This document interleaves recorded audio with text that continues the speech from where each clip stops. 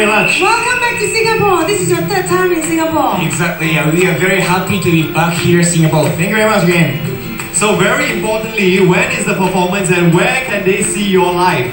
Yes. Uh, second 2nd of August. August, third, fourth of August And at Esplanade Theater. yes，就在滨海湾艺术中心，大家一定要多去支持哦。是八月二号到四号。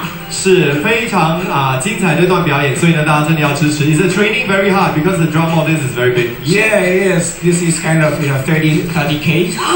30 kilo. Yeah, exactly. Besides uh, drum training, what kind of uh, training do you do? Yeah, well, actually, you know, we wake up at 5 o'clock e- every morning and start running, like, well, ap- approx 12 kilometers every day. Okay. Then after that, we do some, you know, the muscle training, like, uh, you know, sit up and uh, you know, Alright. push up or stuff like that more than 200 times.